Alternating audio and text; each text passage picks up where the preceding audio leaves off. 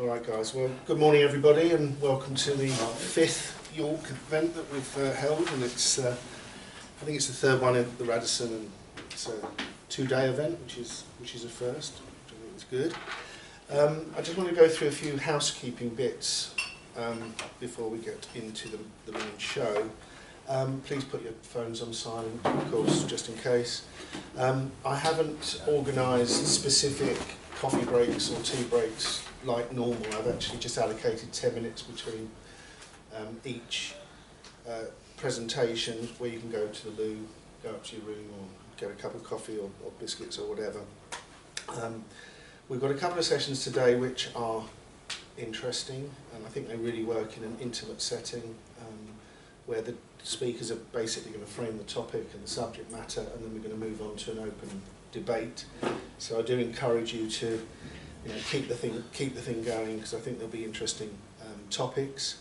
Um, we've got two keynote uh, speakers, well, speaker teams in fact. Uh, today we've got Gary Shaw and Brian Edwards who are basically are telling the uh, Ricky White story of his father, uh, Roscoe White. Um, as you know, this is quite a controversial area. It crashed and burned in 1990 when they held their press conference uh, in Dallas. But uh, Gary really believes in this. Uh, I've read the book. I think it's very interesting. I think there is a lot of validity in, in it. Uh, and it's one of our first surprises today. Uh, Ricky White will be actually joining us um, in the presentation. So you will have an opportunity to ask some potentially challenging questions. But I just ask you please to be respectful um, even if you don't think that this um, story is valid. Um, likewise, uh, tomorrow our keynote speaker team is uh, Larry Hancock and David Boylan, both of whom are friends of DP UK. Uh, and it, we obviously do finish earlier on the second day, we always do. We're finishing at four. Can I please ask you not to leave uh, before four o'clock? We've got 13 people today, we've only got eight tomorrow. So it would be pretty disrespectful if we thinned out uh, before four o'clock. Um, the room is secure, um, so you can leave your things overnight if you're staying uh, here overnight. Uh, you wouldn't be surprised to see that there's a book sale um, over there. I'm holding the same books from York to Canterbury each year. Um, Johnny's already take, taken some and um, Paul has, has bought one as well. Um, I do encourage you to try and buy something because it is for the benefit of uh, the society. There's some classics there and there's some interesting stuff and there's some very rare things on the, on the right hand side. And they're all very reasonably priced. I mean, you know, those of you that know this market, um, these are heavily discounted um, for members. Um, got a couple of other surprises for you. Let's start off with the, we've got a virtual reality uh, headset here. and you I, I want everyone to have, play around with this. Um, it's basically, it's Johnny's, and it will show you what Dallas looked like in 63. So that would be quite some fun between sessions. And then the other thing, we, the other thing we've got down here is a Carcano which also is Johnny's, and uh, we'll get this out and you can play around with that with the bolt action and everything else. Please don't do it in front of the windows because there's, a police, there's a police station next door and we don't want a SWAT team coming in um, in 90 seconds, presumably. That's Ian, Ian old It is Ian. It's all right, I've been looking for a mouse. so uh, enjoy those. Um, Dinner tonight, for those of you that are staying, it's next door. Um, obviously, you've prepaid and chosen your courses. Um, there is a seating plan to try and mix and match it up a little bit. The course is written down somewhere. Yes. I've forgotten mine. Uh, I have got it written down, and so is the so is the hotel. But uh, you've got there's nameplates in, in terms of the seating plan. In terms of the drinks, uh, just buy your drinks as you go. They'll bring a card reader into um, into the room. Uh, the hotel doesn't take cash. Um, what else about Canterbury update? This is quite important. Um, we've got 10 people firm, which is another sort of low turnout, unfortunately. Uh, we've got seven who have committed to staying to the, at the hotel. Um, I wrote to them quite recently and said I think you know we, we might have to cut it or um, people go to their own hotels and I'll try and get a classroom at the university. And they came back with an outstanding offer of uh, rooms at £92 a night, which is really, really good for the quality of that hotel. Um, but we need to achieve 10 people staying. So there will be an email that will go out to all members of the society, but I'm just mentioning it to you guys first. If you can schlep all the way down to France, practically, um, you know the, the rates are the rates are good. Um, finally, I want to thank Tony again. He always helps in these things, both on site with the, the technical stuff, um, and uh, obviously helps me with the preparation of the, the actual program uh, as well. Um, and just before Johnny starts, for those of you who are seminar virgins, um, Yes, would you mind just introducing Oh, yourselves? do you have to? Yeah, no, just just a minute, just to say how you, how you, how you got. I mean, actually, with Paul, I press ganged him into joining the society at ten twenty six Berk, uh, Ber- um, Beckley, didn't I? When, Yeah, uh, yeah. when I saw you in Dallas. But if you could just, Yeah, I'm th- Paul, those of you who are new, Uh, I live in Hull. Um, I'm pretty late to the uh, the JFK uh, assassination, really. I, although I, I did know about it, obviously, but it was only really in COVID that I started to watch um, uh, podcasts and things on YouTube. But I've, I've read quite a few books and um, listened to a lot of podcasts and everything. I think I, well, I'm, I'm not like you guys. I'm not an expert, but I know I know a fair bit now. And uh, it's uh, once you get into it, it's um, it's like a never-ending black hole. You can't get out. You don't, and you, you don't seem to get. But the thing is, what, what I've noticed is, I seem to learn something new every day. I listen to a podcast or watch something. Uh, these researchers, and you seem to le- I seem to learn something new every day. I don't know about anybody else, but I just seem to be picking up new information all the time. You know, and even now, uh, talking to people, I've learned new things already since I've been here. well, you're, so- you're sitting next to a VIP, of course. yeah, yeah, yeah.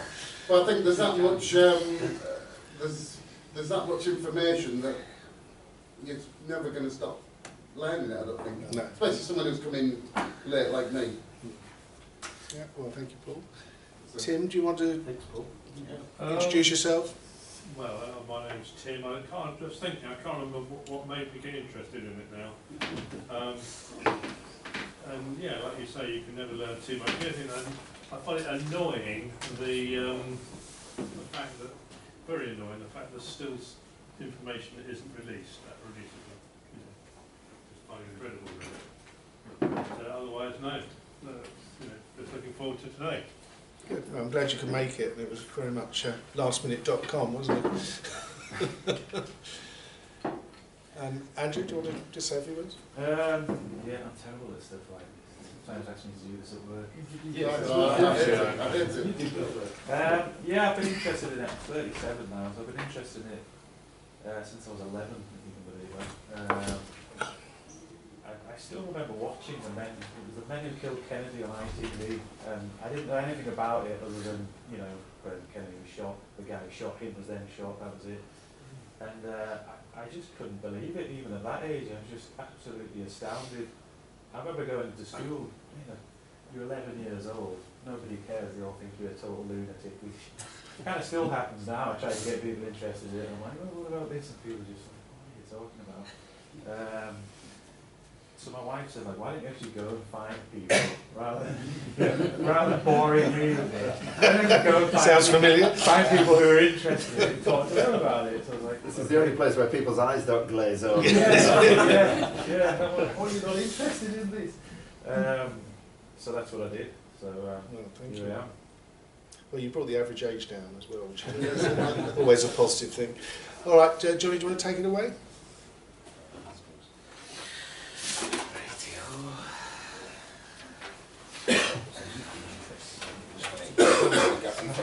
Um, I just check with you, Neale? Uh, these things are on the, on the computer. Uh, this is your one. This is your one, isn't So I it? can run it from that? You can run it from here. yes. And it will go on to the, uh, uh, podcast later Yes, because it'd be filmed by time.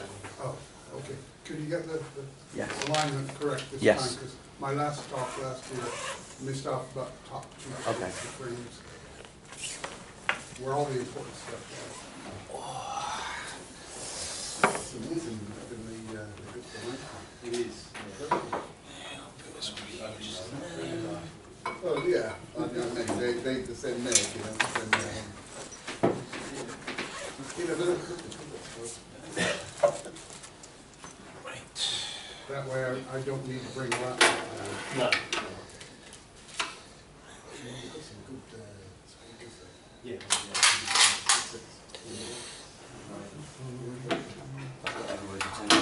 Yeah, yeah. So everyone knows what this is.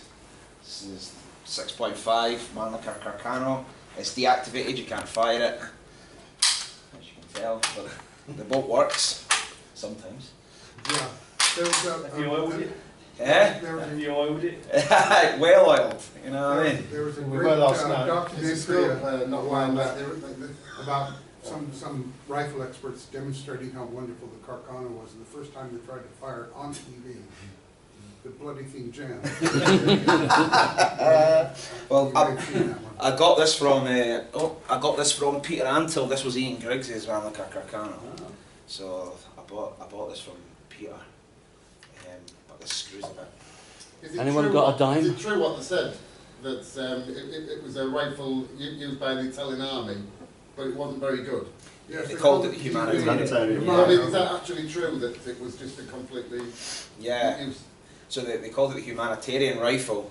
Um, used to jam quite a bit, and yeah, I mean, what the Hidell Carcano cost what twenty one dollars at the time.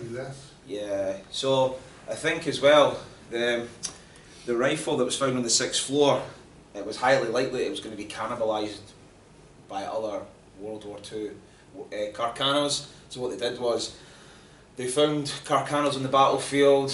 Oh yeah, the trigger guard, that's a good one. Or the stock, that's a good one. And they just brought all the saleable parts and you know just made a Carcano. But yeah, the sheet you can hold it and stuff like that if you want. You can. Oh. That's uh, bullets and a clip as well. Although to make it more uh, more realistic, you should just have four. Uh, yeah, I got the clip from Chris Gallop. I bought it from Chris Gallop when I was in Dallas just there. So there you go. Was the government trying to uh, stop all these rifles being brought into the into the country? No? A lot of No. them came back at the end of World War I thought they were doing It was, something, and it, it was possible that Oswald or there was something to do with that, where they were trying to stop them all flooding in into the country. No, they were. Um, they, no, they were allowed. They, they were allowed. They were imported. Um, can't remember the guy's name who used to import them, but they had no trouble getting them out of the country. No, you could- you Crates crates crates. yeah. You know what I'm saying? Though, wasn't the American government sort of thinking this is getting a bit out of hand now? We're trying to stop Uh, it. not before the assassination. This Right year- These are here. Um, these are the contents of Oswald's wallet. I bought these for Chris Gallett. You'll know these well, Mike. So they're a reproduction, but as you can see, there's the Hidell ID, the bus transfer for the 22nd there, all sorts. There's a nice picture of Marina in there as well. Is there a, there's a selective service card, the one that had his picture on it. Yeah, this, the Now, Hidells. That that is weird. I mean, I had to sign up like every other American boy, Mm. uh, when I was eighteen. They didn't want a picture on it. Yeah. So he's got there's two select service cards. There's one with his name on it that's not got a picture, but the Hidell one does have a picture. Well, nobody who had a selective, selective service card, as far as I know, needed to have a picture on it. And I don't know of any place on it that had provision for a picture. Yeah, the Hidell one was just a, made up by somebody else. wasn't it? Well, well, he probably made it up because it was using a false name. There was some reason why, why he wanted to be identified as that person, even though he uses, used a different name. But I can't say for sure. I, I think the Why um, didn't anybody put a picture on it? I think the Hidell. I mean, there's no, there is no real evidence that the Hidell ID was in existence on the 22nd.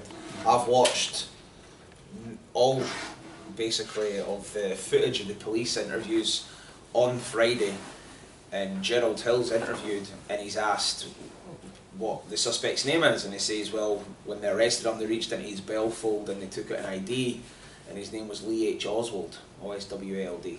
So they never mentioned Hidell on the 22nd. There was another wallet somewhere. Well, yeah, that's what they say. They say there was well Three, three in existence. Yeah, apparently so. They said there was one left at the Tippit scene, Yeah, which was people, people who killed people always toss their wallet on the Yeah. ground to make sure they can't be identified. Yeah, so there's there's one I suppose like the Tippit scene. There's one that he leaves apparently at the Paine House, and he's arrested with one. So I, I've gone all my life and I've only had one wallet. yeah, yeah, Very strange. It does say that, it does say in the, in Bart Kamp's book that Mr. the, Lee. the Hidell ID only was introduced later, so it's, because he's got it all in chronological order. And it, yeah, it does, does make, uh, initially, the, the, yeah. initially the Hidell ID wasn't, uh, wasn't mentioned, it was sort of implanted into the narrative maybe maybe twenty-four hours after. Where, where was this palm print they allegedly It, found? it was it was in the it was in the underside, so it was I think it's where the um, it's the underside of the barrel. So it was no, it was it was in a place where you had to disassemble it to get to. Um, I can't off the top of my head. I can't quite remember. No, it's on the other side of the But they-. Was it under the trigger? Under the Uh, yeah, I think it was. I think mechanism. yeah, I think it was actually under there. Yeah. The, the problem that they've got with it is I've seen loads of pictures of Lieutenant Day, the um, fingerprint in the rifle, etc. And there's fingerprint powder all over the rifle, and the where the where the palm print was lifted from, there was no evidence that the palm print had been lifted, and there was no powder or anything like that. So yeah, so the the the palm print is highly contentious, for sure. There's a clip come off, but it's- Yeah, Leave Pete. Pete, Peter told me about that. There's a screw in a clip. I'll need to try and fix it at some point. Use a dime. Yeah, dime coin. Oh, that was the I don't speculation. we use the rifle, to be honest. yeah, no, I don't know anything about them either, but they're um, they're. I, I, I just got it because I thought it was a piece of history, you know. Looks great. So, my uh, presentation, it's not really so much a presentation, it's just me talking, as per usual. Um, I've just been so busy, I just, I, I've just completely, I've just not had time really to, to make a, to do a presentation for you. I've just had an article recently published on Kennedys and King, it's called The Persecution of Lee Harvey Oswald. And it's more like a look at what the Dallas police how he was treated while he was in custody and what the Dallas police were releasing to the press about him during his uh, detainment. so I think it was 76 minutes after the assassination where Oswald was first identified as a suspect in the assassination of the president. the photographers and uh, newsmen, sorry, were basically holding up pictures of Oswald to the cameras and declaring this was the man that killed the president. This is what he looked like, and um, which is pretty. It's pretty incredible when you think about it because from a guy that was supposed to just be sneaking into a movie theatre to 76 minutes later being heralded as the assassin of the president, it's quite uh, it's quite remarkable. but the media. The media uh, carried the narrative that um, Oswald was a 24 year old um, man. He was arrested in the Texas theatre and he was subdued after killing a Dallas police officer with a snub nose revolver. Struggling with the, with the officers, Oswald struck the officer with a pistol and during the struggle he was heard to shout, It's all over now. I've got me a president and a cop and I'll try for two more. He's a fanatic in every sense of the word. He never said that, but that's what was getting carried in the news. That's what he said. So the people who were getting fed this information had no way of knowing, but that was the narrative that was getting fed to the people. all he really said, as far as I remember, was, was everybody will know who I am. No, that was uh, that was during well, that was came for Roger Craig. Apparently, when he was arrested, he said, "This is it." But again, we don't really know. He never said anything like, yeah, I got the president. yeah." That's true. I agree with you, but that's the narrative that was getting carried into the media. So it was it was more just trying to. I don't know. It was it was all about trying to cement this narrative that he was some sort of presidential assassin and he was trying to kill people. I suppose. Did, did he not say at the arrest. I'm not resisting arrest. Yeah, that when he was arrested, that's what he did say. Yeah, I'm not resisting arrest. He kept on shouting it over, possibly because he didn't want to be shot and killed. Exactly. You know. So- I think, I think during, in, um, outside in the lobby area, I think he was, allegedly he was complaining about police brutality. Yes. Have you Yes. been able to validate that? Or- Well, certainly when he was getting arrested, there was scuffle, for sure, Yeah. and he was definitely hit over the eye. So um, I think that's where he's coming from, police brutality, for sure. Um, and to be honest, the, the the circumstances surrounding his arrest are really quite they're up in the air because yeah, we have the testimony of the police officers, but the Dallas police in 1963 were, wasn't the kind of shining example of law enforcement. Um, so yeah, I, we, we just don't know what was happened. I've got my own theories about it, my own opinions, but um, yeah, I, I, I think that it, we don't really know what happened when he was arrested for sure. And, it, and it's right, isn't it, that none of the other people in the Texas theatre had their names and addresses taken? Well, there, there were they were taken, but the list was destroyed, or was it missing, or something Lost. like that? Lost, yeah. So yeah, but to go on to my next point, the lineups conducted were absolutely abhorrent. I spoke at JFK Lancer about this, about the lineups that Oswald was subjected to. But for me, the most outrageous um, point about the lineups transpires at the the six thirty lineup attended by Galloway, Callaway, Guinyard, and McWatters. And Ted Callaway testifies before viewing Oswald in the lineup. he was told by it was either Captain Fritz or Jim Leavelle. Callaway doesn't. He, he, at one point, he says it was Callaway, um, Fritz. At one point, he says it's Leavelle. He says they, they were the suspects were told that they we want to be sure. We want to try and wrap Oswald up real tight on killing this officer. We think he's the same one that shot the president, and we can wrap him up tight on killing this officer, then we have got him. So this is the type of information the Dallas police was telling. It's completely neutral. Yeah, yeah, completely neutral. Well, should recognize him. Jerry Spence, uh, if anyone knows who Jerry Spence was, he was the lawyer that um, acted as Oswald's um, defence attorney during the London weekend television mock trial of Oswald in the 1980s. Bugliosi was the prosecution and Jerry Spence was the defence. And Jerry Spence says to Callaway when he's on the stand, Do you think that's a fair and impartial way to make a lineup on someone? I mean, if you were standing in the lineup, innocent, charged with a crime, and somebody said we want to try and wrap him up real tight because if we can show he killed the officer, we got the man who killed the president, do you think you would have gotten a fair shake? And Callaway just kind of doesn't answer him, and just kind of stares blankly. So, but this is the so they so then the Dallas police start to be interviewed on the twenty second, and this was Gerald Hill is one of the first ones I I seen being interviewed, and Hill talks about Oswald's rights. He talks about how Oswald on the twenty second, um, as soon as he was arrested, he started demanding that he be allowed to see a lawyer and started demanding his rights.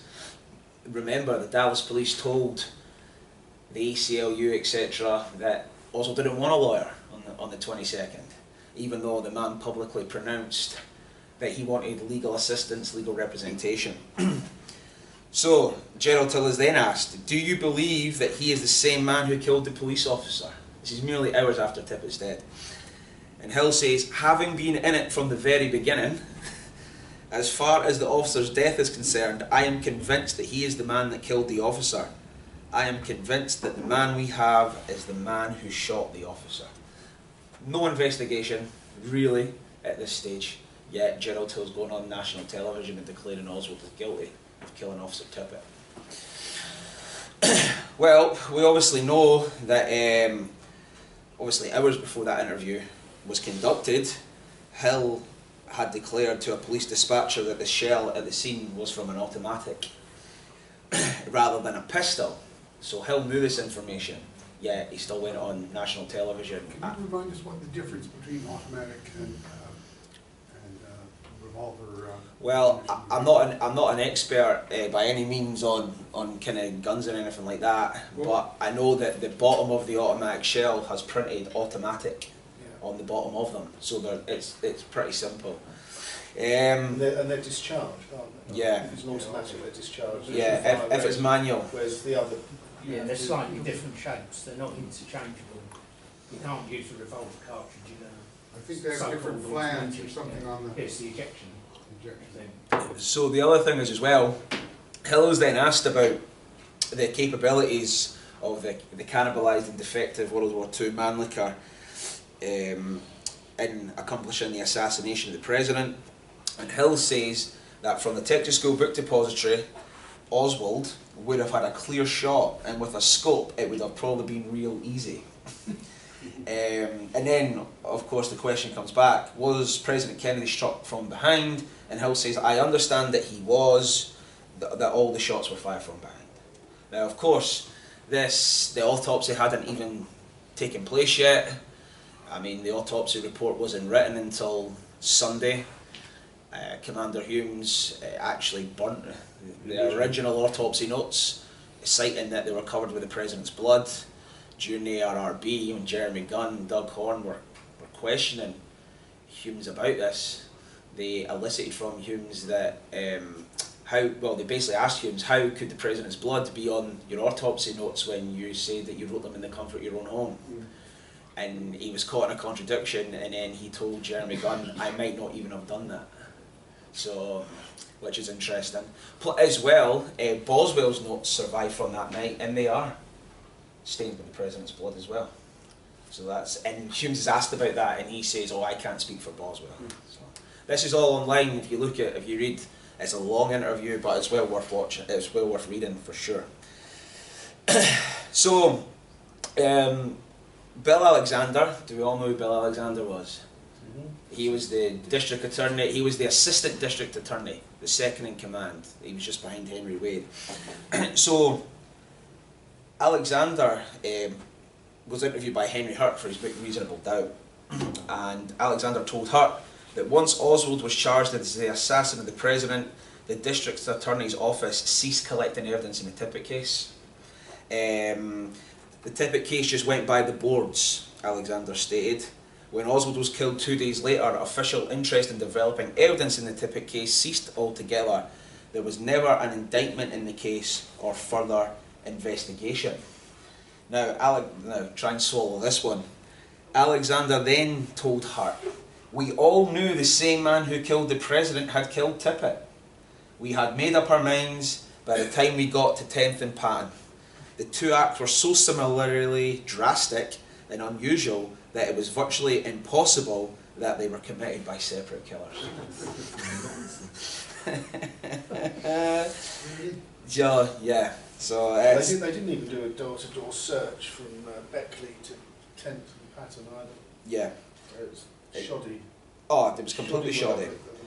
Now, so you've got Gerald Hill obviously on national television saying that Oswald is guilty in the Tippit case, which is obviously it's um, it's turning the American people against him at this point because when the police are telling you that this man's guilty, you're going to believe it, right?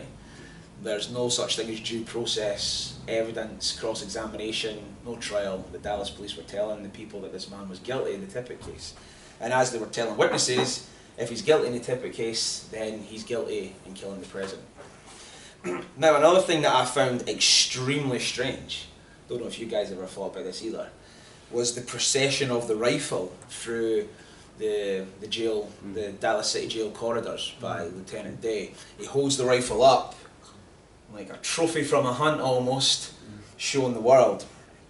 Now, I found this to be very strange because the rifle is evidence in a murder case, you know, and yet the Dallas police are, are showing it to to everyone, uh, the television cameras, newspapermen, everyone who's watching the telly, and they're basically saying this is Oswald's rifle. This is the rifle that killed the president. To the exclusion of all others, this is the one.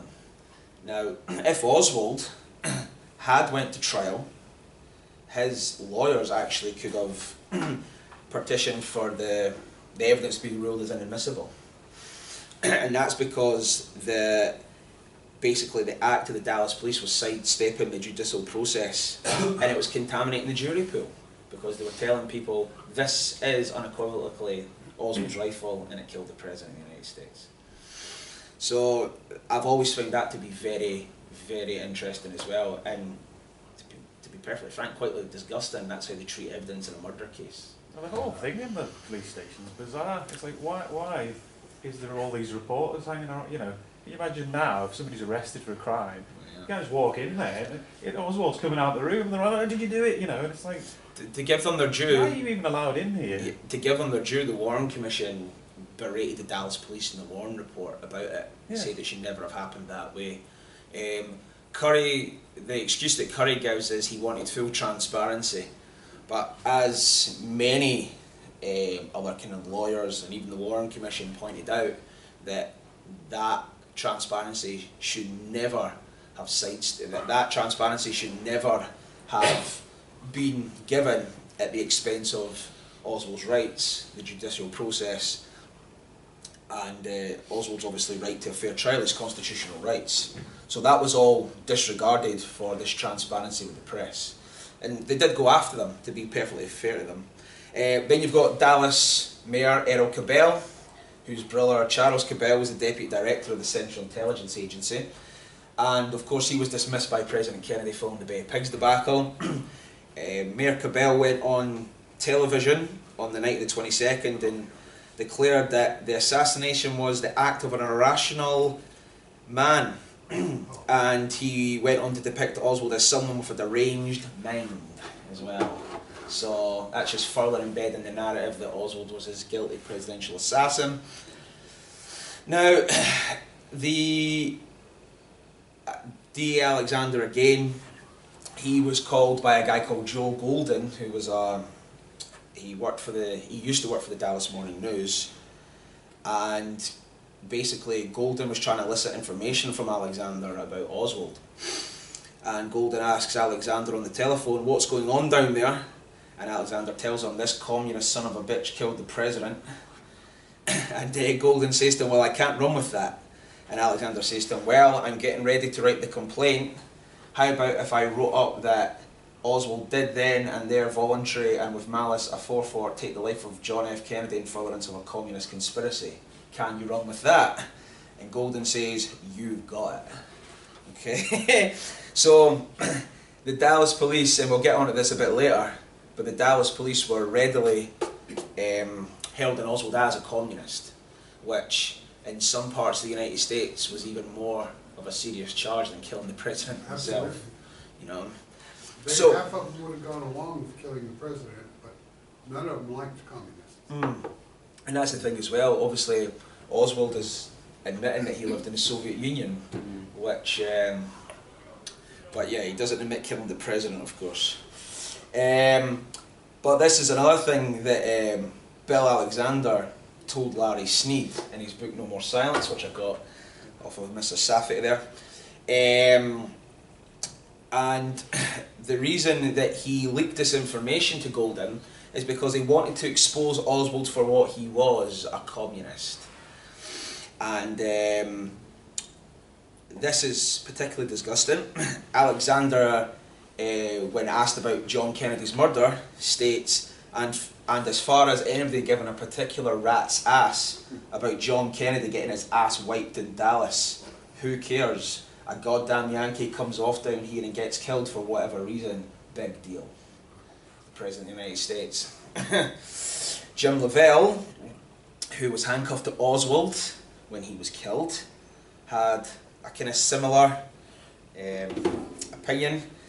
He said that the killing of the president, he told author Joe McBride in 92 that the killing of the president was no different than a South Dallas racial slur killing. It was just another murder to me, and I've handled hundreds of them, so it was no big deal. Dallas Police in 1963.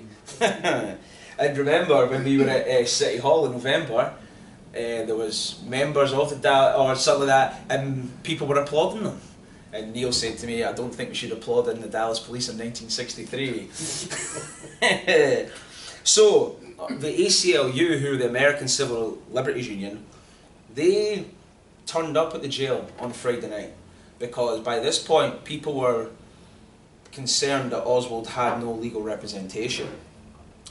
And approximately at 10.30, Gregory Lee Olds, who was the president of the Dallas chapter of the ACLU, phoned Captain Fritz to discuss Oswald's rights and his entitlement to legal counsel. And Fritz told him, basically, that Oswald wasn't interested. He didn't want a lawyer. Okay, so this is what Olds testifies before the commission.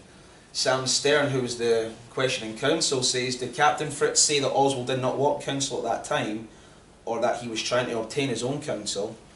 Olds, what I was told, that he had been given the opportunity and had not made any requests. Okay, but this explanation didn't satisfy Olds, so he made his way to the jail with three other attorneys, and at 11:35 p.m he encountered a guy called Captain King, who was an assistant to Chief Curry. And Olds testifies that King assured us that Oswald had not made any request for counsel. Justice of the Peace David Johnston, who Oswald was arraigned before, assured us that Oswald's rights had been explained and that he had declined counsel. Chief Curry was quoted to us as having said that Oswald had been advised of his rights to counsel, and we felt fairly well satisfied that Oswald probably had not been deprived of his rights so we broke up. now, what's interesting about this is Olds is present at the midnight press conference when Oswald briefly gets to speak to the press. and of course, Oswald doesn't request counsel not once, not twice, but three times during that brief minute he's allowed to speak to the press. Oswald states, I positively know nothing about the situation here. I would like to have legal representation.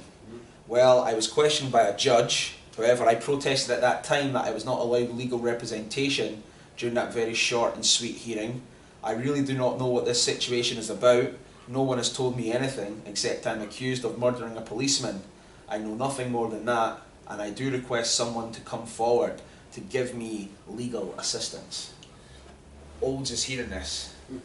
Yeah. And Oswald is a member of the ACLU. Yeah, Olds doesn't pursue the matter further. And it's also bizarre, isn't it, that they would just accept that on hearsay. You know, you would you would imagine that they'd have to complete a form that Oswald would have to tick a box to say I decline, legal representation. Well, Oswald, it's quite funny because in his testimony, Olds does regret not speaking to Oswald.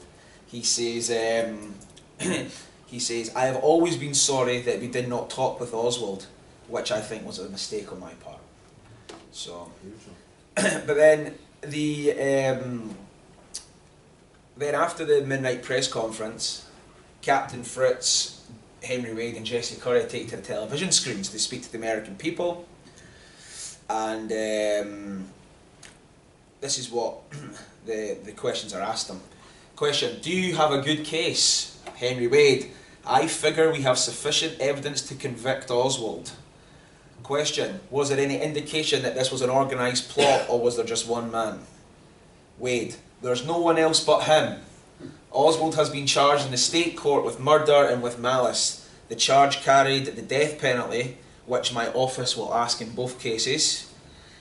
Question Sir, can you confirm the report that his wife said he had in his possession as recently as last night the gun as one which was found in the building?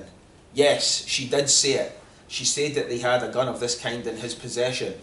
The reason I answer that question is because the wife in Texas cannot testify against her husband, which obviously has ramifications down the line when we're talking about the backyard photographs, etc. Um, do you think you've got a good case against him? I think we have sufficient evidence, sufficient evidence to convict him of the assassination of the president. Definitely, definitely. Well, that was on the 22nd, but there is a there is a telephone transcript of a, co- a conversation between Lyndon Johnson and J. Edgar Hoover, and Hoover tells Johnson that this man in Dallas, we have of course charged him with the murder of the president. The evidence that they have at the present time is not very, very strong. The case as it stands now isn't strong enough to be able to get a conviction. Yet Henry Wade's telling the people that the case is cinched. Well, sorry, that was Captain Fritz. On Saturday the 22nd, Jesse Curry is interviewed by NBC, and uh, Curry is asked, Chief, how would you describe Oswald? Is he a prime suspect? Chief Curry, yes. Is he the only suspect? Curry, yes. Question. Oswald was yelling and complaining about no attorney. Does he have an attorney here now? Not that I know of, Curry replies. Chief, are you convinced this is the man? Well, we don't have positive proof. We feel he is a prime suspect. Question. What do you think personally? Personally, I think we have the right man. Chief of Police. Which flies in the face of his, of his later um, argument that uh, we've never been able to place him in the, in the book depository on the sixth floor. Well, this is this is why I Curry couldn't have seen the Zapruder film on the weekend of the twenty second because if because years later he says that it indicates the shot comes from the right front. Now, Captain Will Fritz, that that beacon of uh, of, of of law enforcement, you know, he he was a captain of police that had no forensic training at all. Um, he's asked on the 22nd, Captain, can you give us a resume of what you know concerning the assassination of the President and Oswald's role in it? Captain Fritz, I can tell you that this case is cinched, that this man killed the President. There's no question about it. Question, well, what is the basis for that statement? I don't want to get into the basis. In fact, I don't want to get into the evidence. I just want to tell you that we are convinced beyond any doubt that he did the killing. Never mind the evidence. Yeah, don't mind the evidence. He is telling the truth in that instance. So she doesn't want to. Now, Henry Wade again, in a separate interview, is asked about Oswald. What sort of man is he? How would you describe Oswald? And this is Wade's response. I, I couldn't say. I can't describe him any other than the murderer of the president. Since I have been district attorney, I have tried 24 death penalty cases in which we have asked for the death penalty. And how many verdicts did you get? 23 out of 24. Are you going to try this case personally? Yes, sir. Yes, sir. This is a proper case for the death penalty. Well, from what you have seen, how do you sum Oswald up as a man based on your experience with criminal types? Well, I think he's the man that planned this murder weeks or months ago and has laid his plans carefully and carried them out and has planned at that time what he's going to tell the police that are questioning him in present. Nothing, of course, about trying to get away with it. Just, you know, what when he gets caught, he's been planning what he's going to tell the police. And can we all remember what the, the unwritten mantra of the district attorney's office is? That it, uh, you know, any fool can convict a guilty man. It takes a very special individual to be able to convict an innocent man. Yeah. And, Uh, and they're still clearing up the cases, aren't they, today? Yeah, I'm going to get to that. I'm going to get if I'm not bored you to tears already with this uh, this um, transcript. But um, then Jesse Curry is telling goes on national TV again and tells people that Oswald is a communist, and this is again printed uh, all over the newspapers on the 23rd, 24th. Um, uh, Curry's divulging to the media that Oswald, uh, there was loads of communist literature found in Oswald's possessions. Um, Curry qualifies Oswald as an expert marksman as well, when of course we know that Oswald was a rather poor shot. Um, that's his Marine Corps record backs that up. Um, the other thing that the police were doing was they were telling the the press that Oswald's paraffin test was positive and that it indicated that he had fired a gun. Wade says that uh, the paraffin test showed that Oswald had recently fired a gun. It was in both hands. Um, the paraffin test, uh, Curry says, um, means that Oswald only fired a gun. Um, and then Curry then qualifies that um, it proves the man fired a weapon. And when he's asked, "Do you believe he is the man who fired the rifle that killed the president?" Curry says yes. Well, the Warren Commission state that um, Wade might have influenced prospective jurors by his mistaken statement that the paraffin test showed that Oswald had fired a gun. The test merely showed that he had nitrate traces on his hands, which did not necessarily mean that he had fired a rifle or a pistol. Now, you can get nitrate traces on your hands by touching paper, uh, going to the toilet, not washing your hands, lighting a match, all this kind of stuff. But uh, in my article on and King, I go into the paraffin tests, and there is hardly any or next to no paraffin found on the back of Oswald's palms, um, the back of his hands, sorry. Um, and if you were firing a revolver, that's where the paraffin would most likely go, it would be on the backs of your hands. Of course, as well, during the um, during the um, the Warren Commission uh, hearings, Cortlandt Cunningham testified that because there was no nitrate found in Oswald's face, that you wouldn't expect to find nitrate on his face because the because he said that the the bullets were so tightly compact inside the Mannlicher that when they got fired, no nitrates would blow back onto the shooter's face. Well, Vincent Guinn, the of uh, neutron activation analysis fame, and the an FBI agent who got interested in the case, I can't quite remember his name off the top of my head.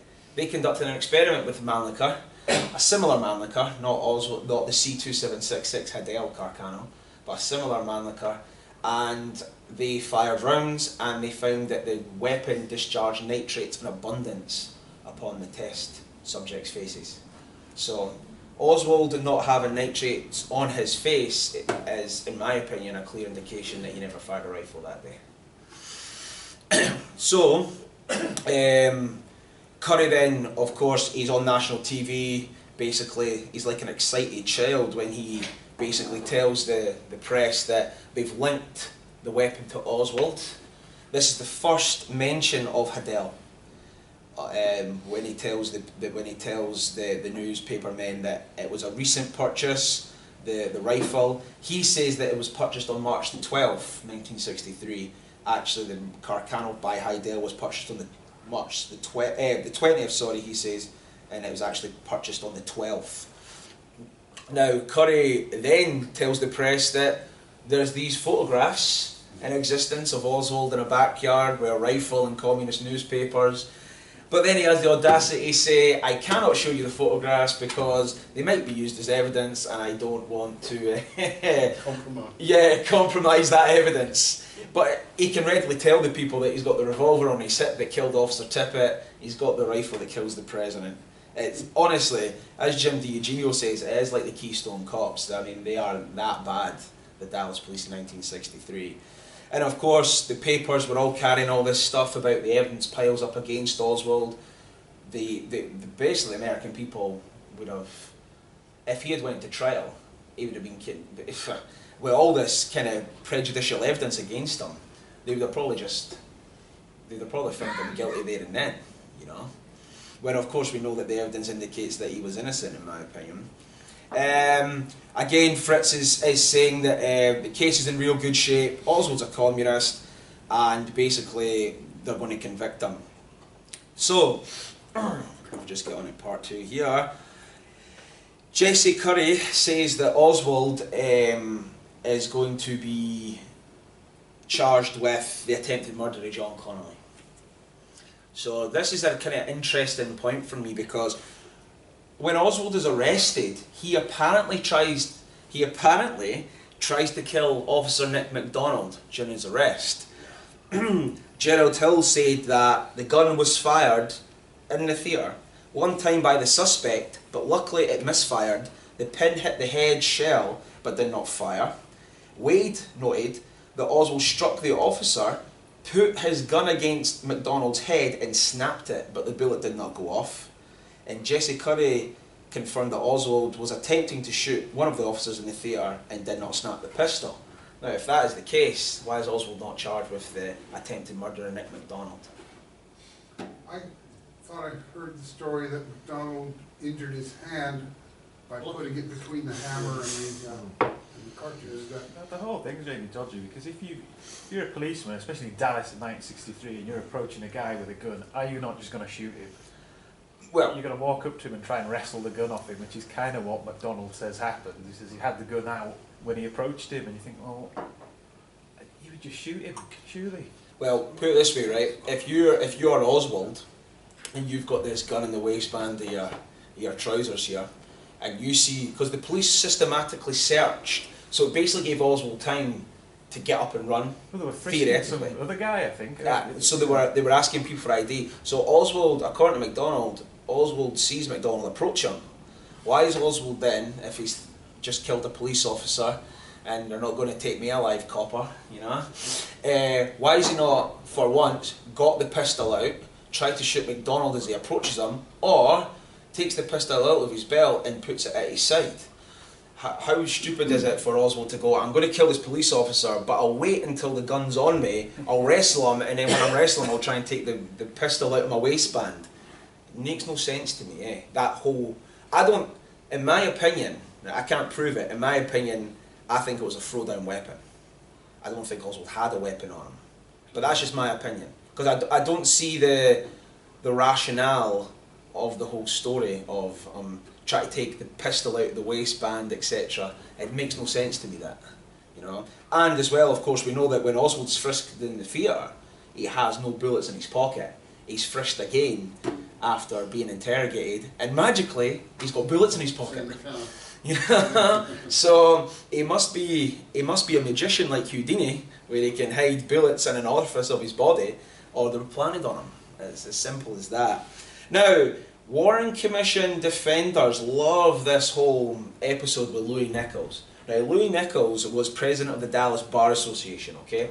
And Nichols was permitted a short audience with Oswald on the 23rd. Now, Nichols was a civil lawyer. He, was, he didn't try criminal cases.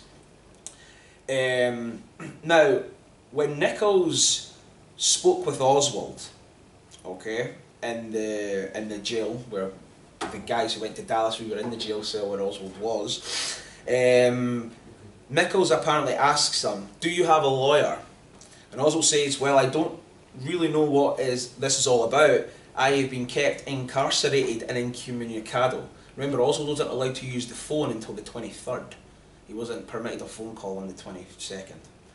Uh, Nichols tells him, uh, I'm here to see whether uh, or not you had a lawyer or wanted a lawyer. Oswald, do you know a lawyer in New York named John Abt? Nichols, I don't know him. Well, I either want Mr. Abt or someone who is a member of the American Civil Liberties Union. I am a member of that organisation and would like to have somebody who is a member of that organisation represent me. And if I can find a lawyer here who believes in anything I believe in, and believes as I believe, and believes in my innocence as much as he can, I might let him represent me. Nichols, I'm sorry, I don't know anybody who's a member of that organisation. What I am interested in, in knowing right now is do you want me or the Dallas Bar Association to try and get you a lawyer? Oswald, no, not now. You might come back next week, and if I don't get some of these other people to represent me, I might ask you to get someone to represent me.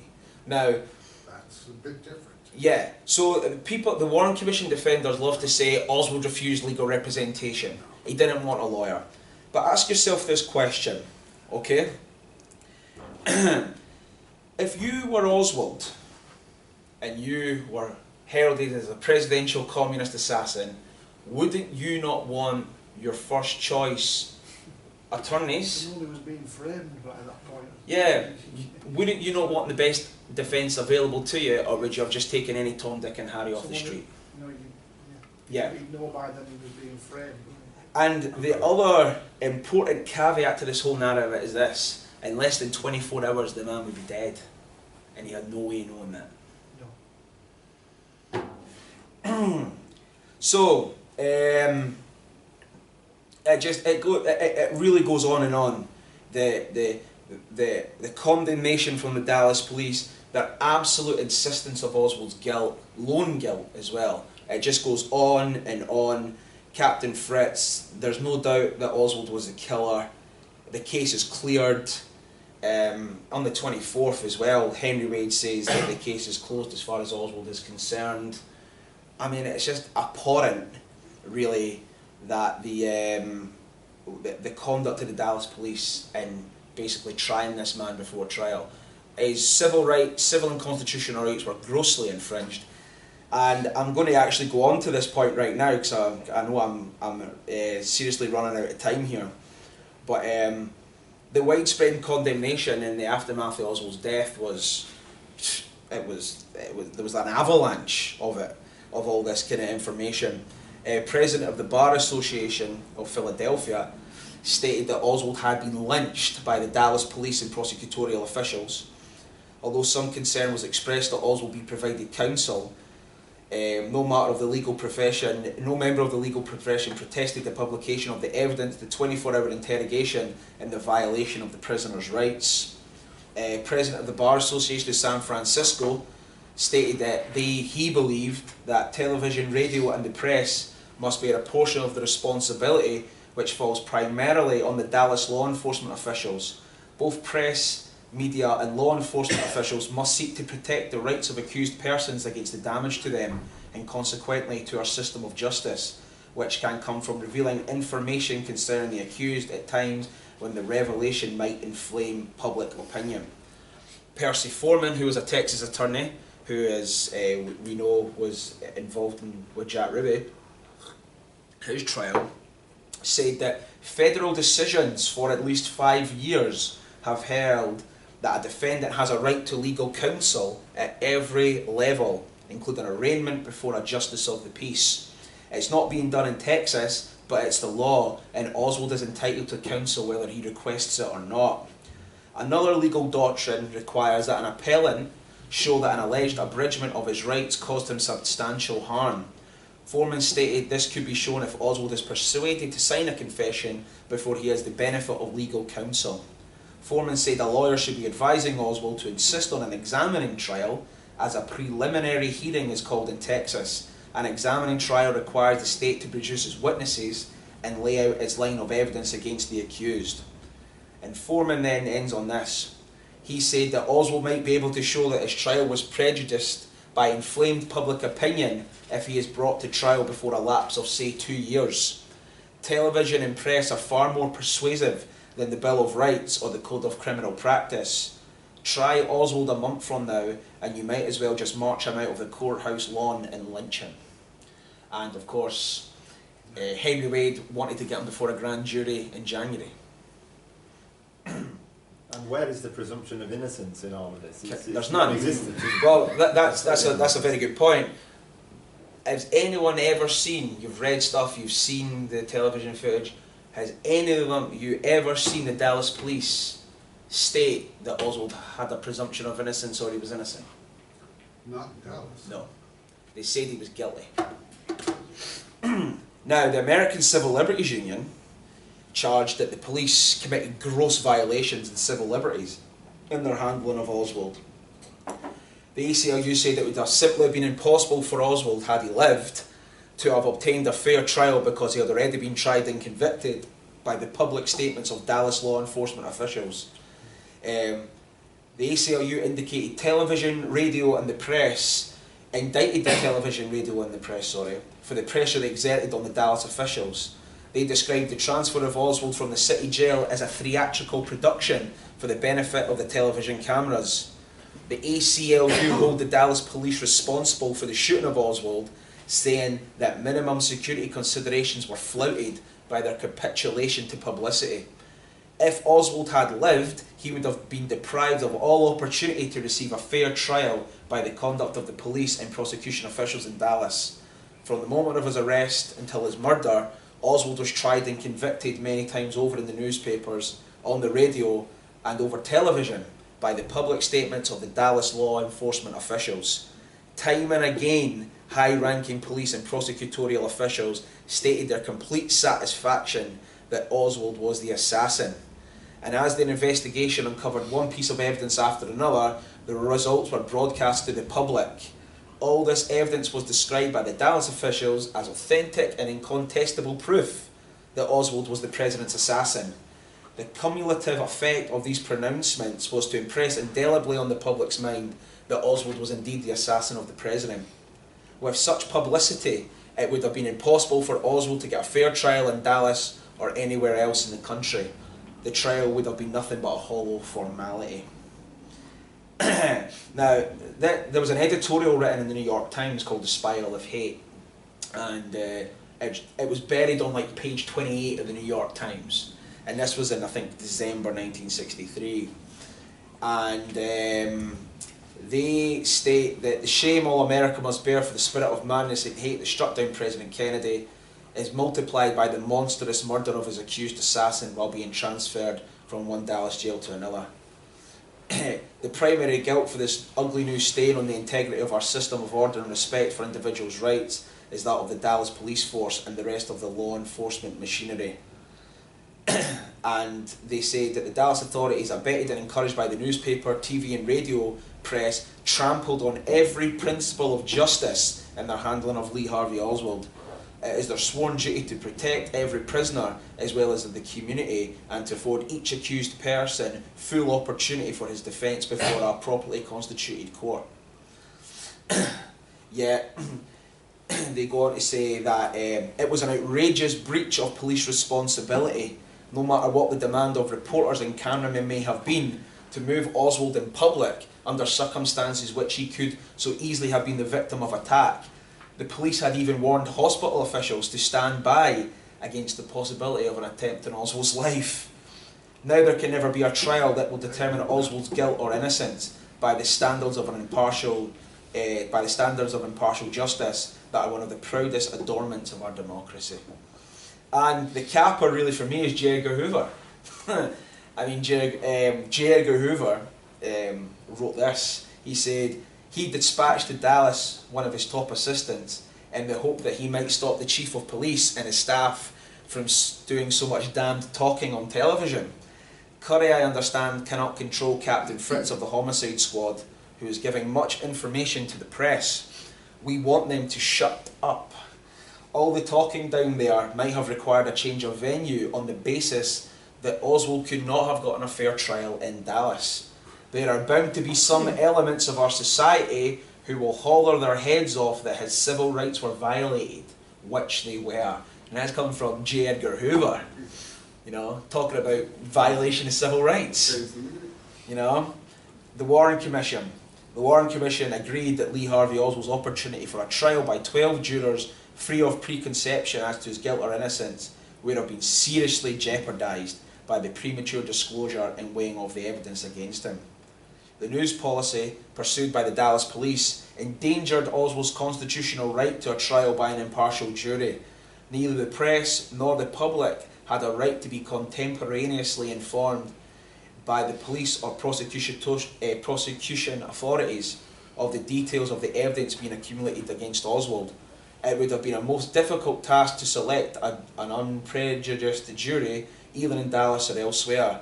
The disclosure of evidence encouraged the public from which a jury would ultimately be impaneled to prejudge the very questions that would have been ri- risen at trial. Is that quote taken from the report? Yeah. Yeah, it's Warren, it's Warren Commission report, uh, page 283 to 240. now, Nicholas Katzenbach, who we all know, uh, rushed to judgment on Oswald, said that the Dallas police have put out statements on the communist conspiracy theory and it was they who were in charge when Oswald was shot and thus silenced. The matter has been handled thus far with neither dignity nor conviction. Facts have been mixed with rumour and speculation. We can scarcely let the world see us totally in the image of the Dallas police when our president is murdered. Now, upon Oswald's death on the 24th, um, Jack Ruby received many, many congratulatory telegrams. and you can see them if you go into my um, if you go into my if you're not bored already and you want to read more of my article, I send a link to all. I think there was about 125 or 130 of them sent to him on the on the day he murdered Oswald. And some of them, for example, read thusly. So glad you had the courage and a careful determination to carry out the execution of the assassin of President Kennedy. Justice has truly vindicated by one of the people. I hope this message gives you consolation in that you'll get the same support from all over the world. And another telegram said, Communist justice for a communist. Thank you. I feel better. Make no question about it. That is a result of the bombardment uh, against Oswald, which was initiated by the Dallas police. All the all the statements of he's guilty, he's guilty, he's guilty, and then the man's murdered, and this is what comes of it. Congratulatory, uh, congratulatory, mes- I can't even say that word. Yeah, messages to a murderer. Is that justice? says a lot about Dallas at the time. Yeah. Now, uh, I'm going to finish on this. You've got five minutes to. Uh, yeah, I know, I know. Um, Craig Watkins, who's now deceased, he died in uh, December there.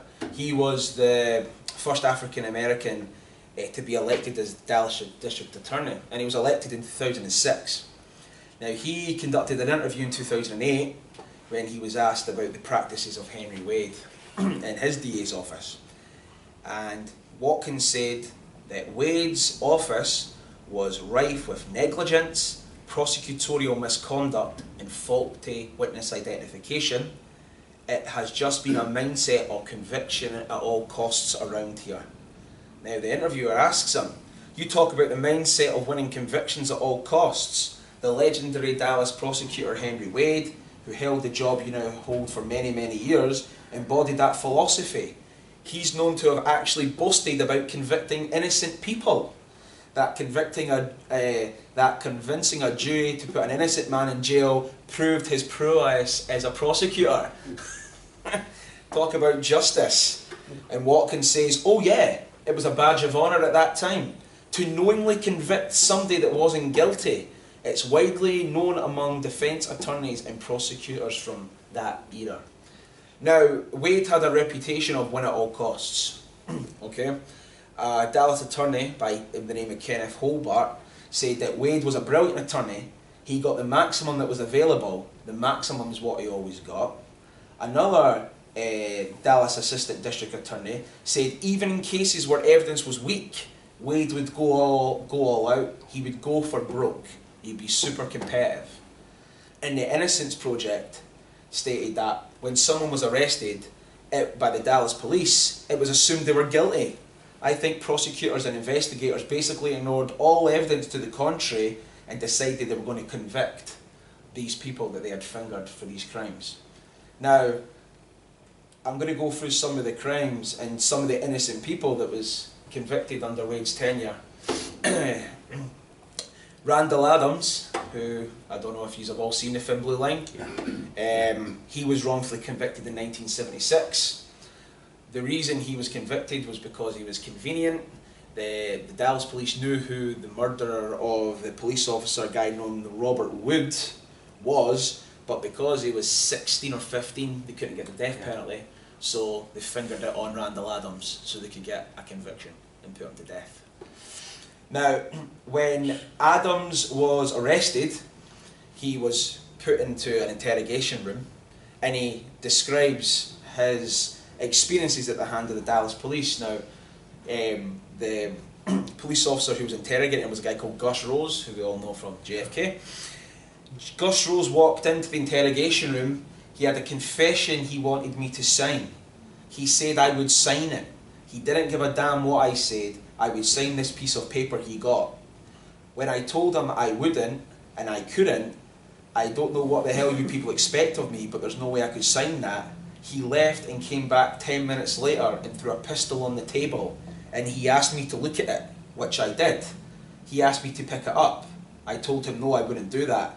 He threatened me again. I told him no. He pulled his service revolver on me. We looked at each other to me what seemed like hours. I do not like looking down the barrel of a pistol. I kept telling the same thing that I, uh, but they did not want to believe me. Never once was I allowed a phone call. Never once was an attorney there. I don't know how long I had been there, but I had smoked two packs of cigarettes. I'd been there for a long time. Lenell Geter in 1982 was convicted of armed robbery and sentenced to life imprisonment.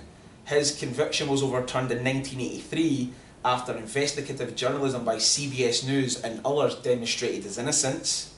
James Woodard was convicted in 1981 of murder and spent 27 years in prison.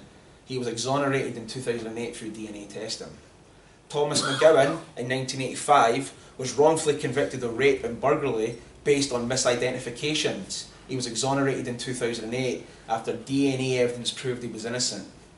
David Shawn Pope was sentenced in 1986 to life imprisonment for a rape he did not commit. He was exonerated in 2001. Joyce Ann Brown in 1980 was wrongfully convicted of her first store robbery and the murder of the store employees. She was exonerated in 1990 after proof emerged that Wade had withheld critical evidence from the defence.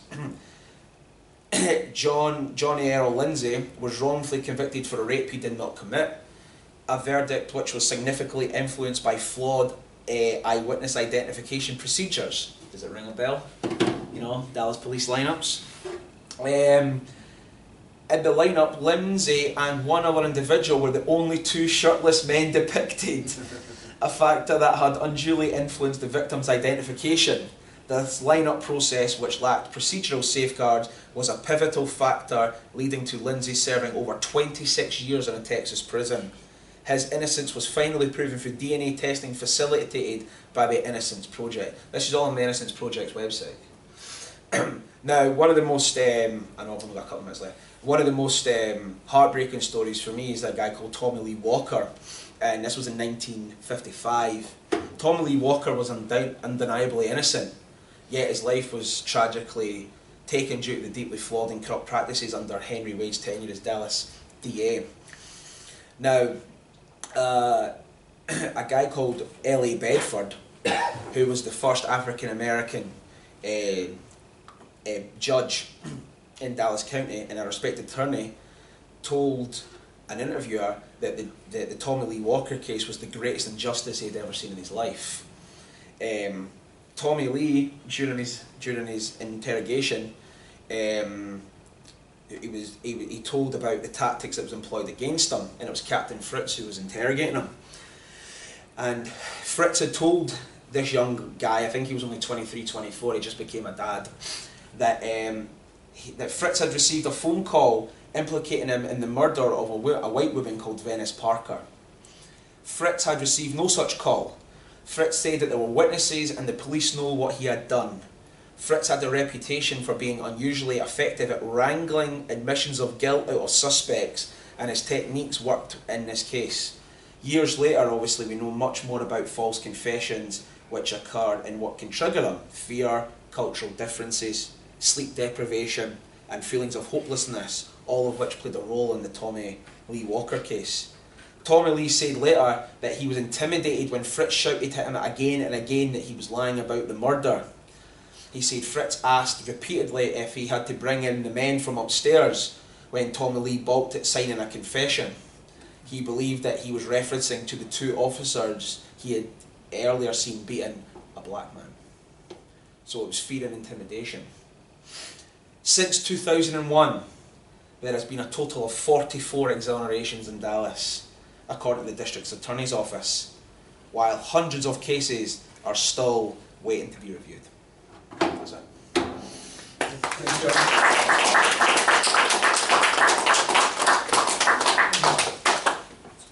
Any, any other questions? That's a very good point just there about, about um, when Oswald was actually arrested.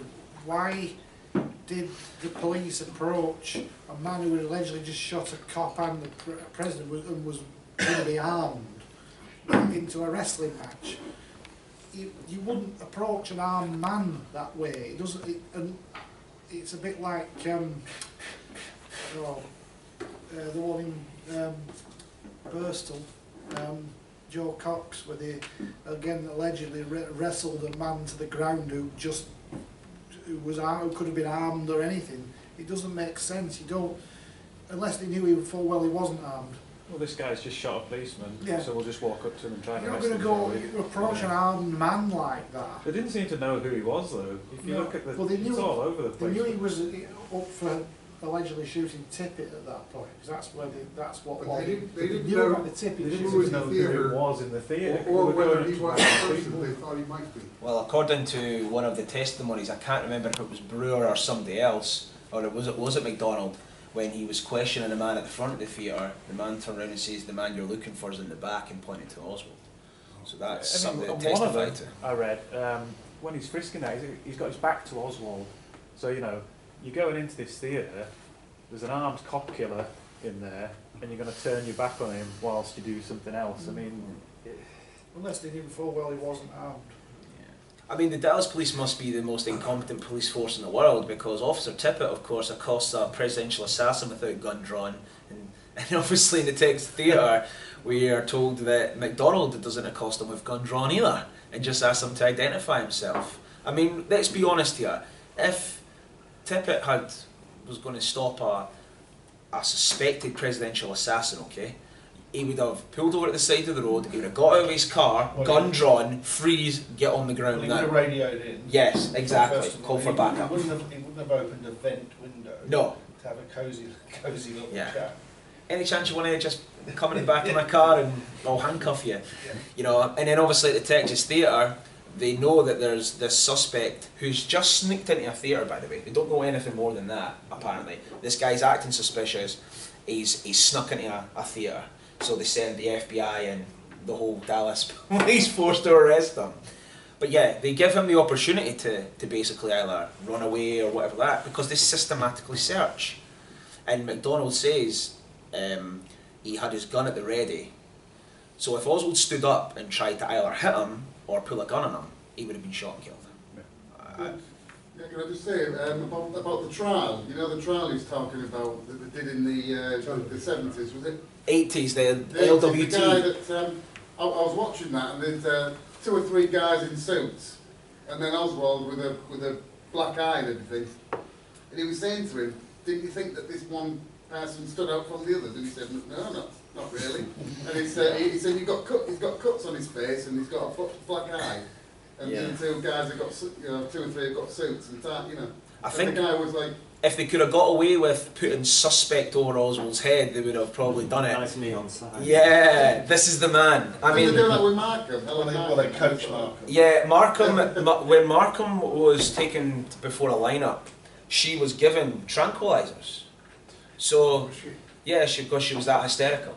She should never have been get, uh, taken to a lineup under the If you read it, it's quite funny, isn't it? Well, she says that she picked number number two is the man I picked and all this kind of jazz.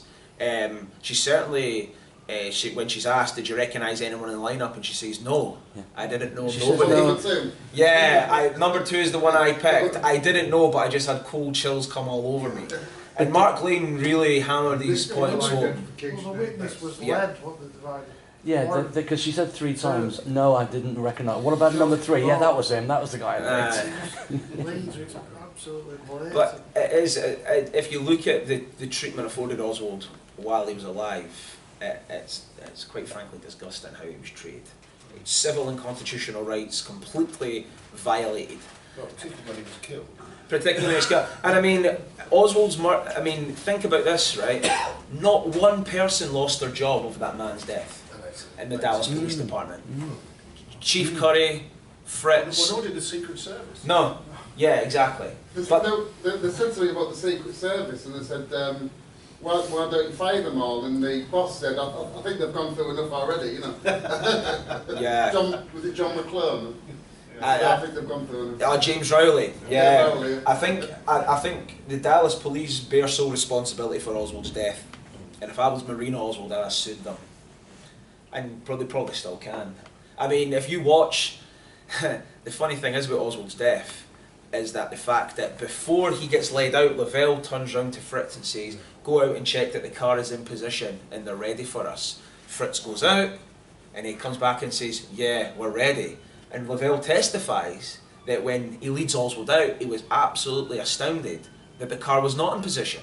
Now, if you watch the footage, Fritz breaks away, and then this gap is left for Ruby to step in and shoot him. Yeah. And he, and he doesn't even recognise the shot. or- No, he's the last one to look. Or Ruby approaching. I mean, you obviously see that. Yeah, of course you do. Um, Peripheral, Peripheral peripheral vision, vision. you Yeah. see that. Guys, we're going to have to wrap Yeah. it up because we're right on 10.35.